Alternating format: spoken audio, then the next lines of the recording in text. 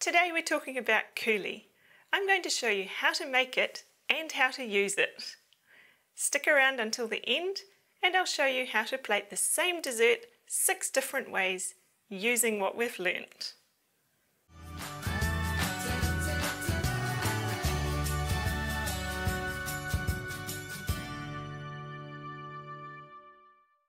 Hi, I'm Taryn. Welcome to my kitchen studio. This is where I like to have fun with food and share tips and tricks to make your food not only taste great, but look great too. Today we're talking about coulis. Coulis is the French word for a thick sauce made from pureed and strained vegetables and fruits. So the options are endless for colours and flavour combinations.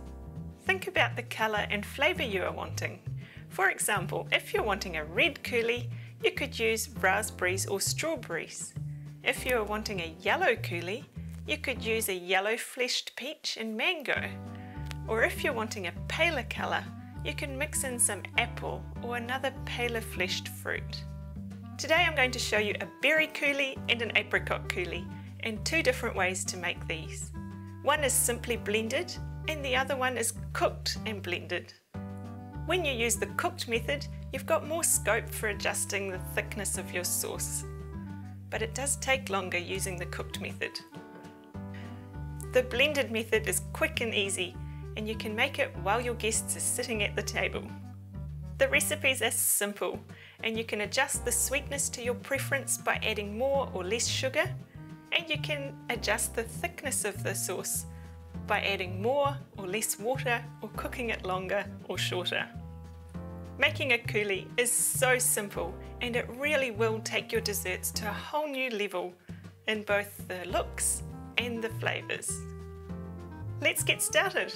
I'll leave the recipe in the description below. So this is what we need for our berry coulis.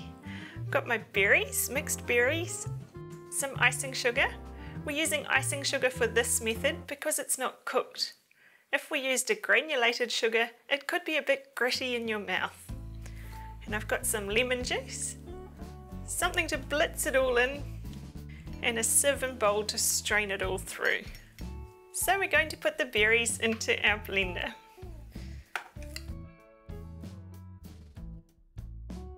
Then we'll add the icing sugar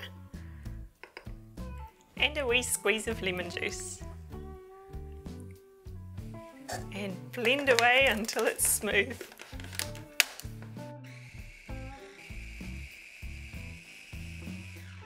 Isn't that a beautiful colour? And now we need to strain it.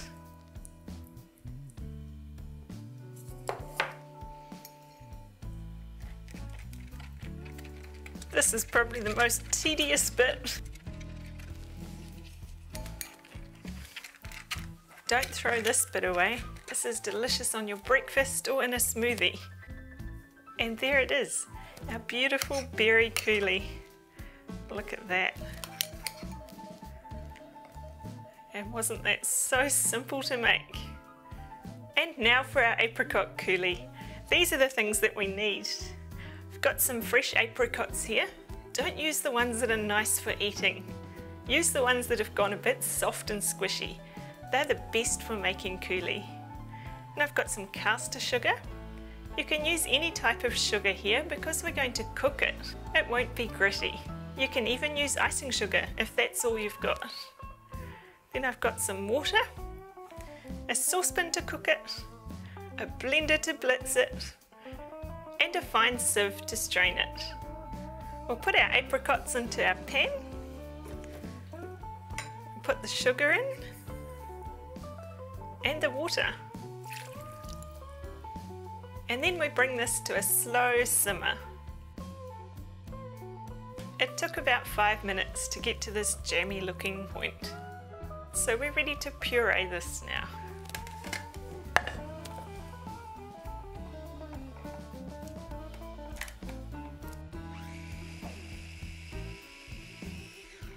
And now we can strain it. Don't forget that this liquid is still a bit hot.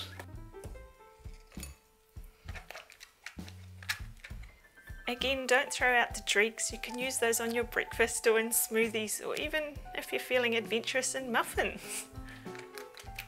And there's our beautiful apricot coulis.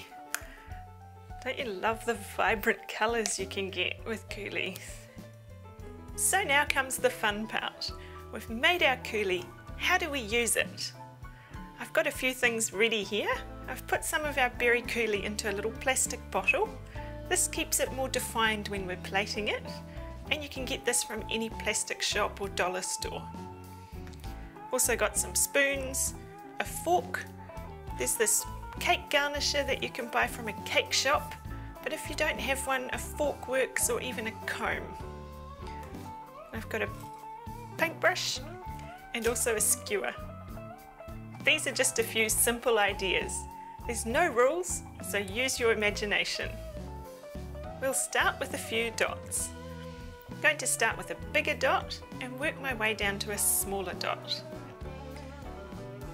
It really is much easier in the plastic bottle with a small little nozzle so that you can get them more defined. It's much harder if you're doing this just with a teaspoon.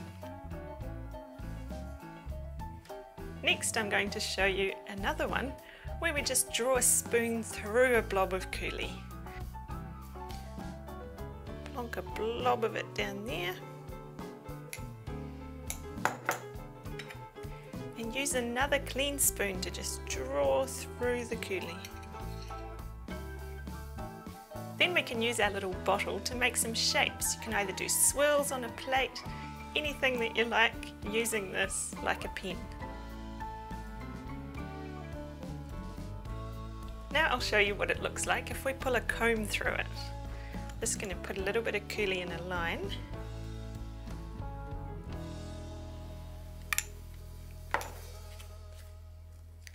Push hard and down with the comb and drag it through.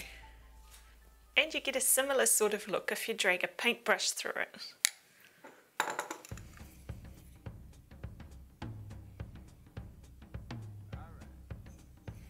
You can also do some simple lines mixed with dots, that can look fantastic. The last one I'll show you, we'll mix the two colours together. I'm just going to do a few little apricot dots. You can see there how it's trickier to do it just with a spoon. And some raspberry dots.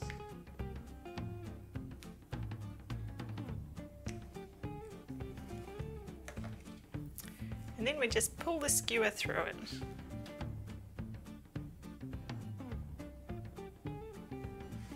So here's some simple ideas and now I'm going to show you how we can use them while plating a simple dessert like a chocolate brownie.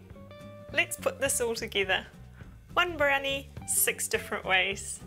I've got a few things to help with our garnishing, some fresh cream, some fresh fruit, cherries, apricots, pomegranate, blueberries, strawberries, some mint tips to garnish, and of course, our coulis.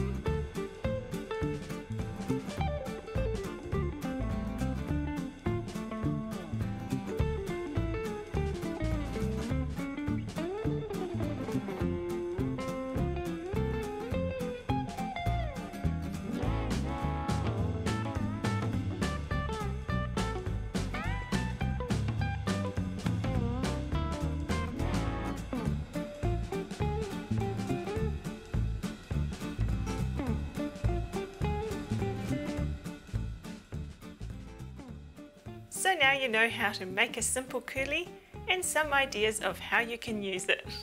I hope you can take your desserts to the next level, both in flavour and in presentation. Don't forget to click the like button and subscribe if you haven't done so already.